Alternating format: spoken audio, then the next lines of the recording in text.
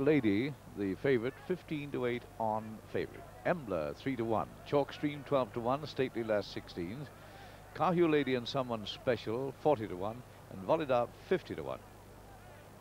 And that's it. They're away. Kahoo Lady, right up there in the early stages, the leader. And the leader on the near side going on now from Someone Special and Kahoo Lady with Sonic Lady back in fourth.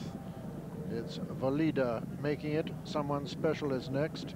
Kahoo Lady and then Sonic Lady. They race past the six marker. Valida from Someone Special. Kahoo Lady. Sonic Lady with Embla very close to her. Chalk Stream is the back marker. Stately Lass just in front of her. Valida still making it. From Someone Special and Kahoo Lady for Ireland. Then Sonic Lady with Embla coming there on the outside of Sonic Lady. Then comes Chalk Stream. And finally Stately Lass as they swing for home with Valida well clear of Someone Special. Then Kahoo Lady. Then Sonic Lady making ground.